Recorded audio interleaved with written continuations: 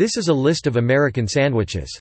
A sandwich is a food item consisting of one or more types of food placed on or between slices of bread, or more generally any dish wherein two or more pieces of bread serve as a container or wrapper for some other food. The sandwich was originally a portable food item or finger food which began its popularity primarily in the Western world, but is now found in various versions in numerous countries worldwide.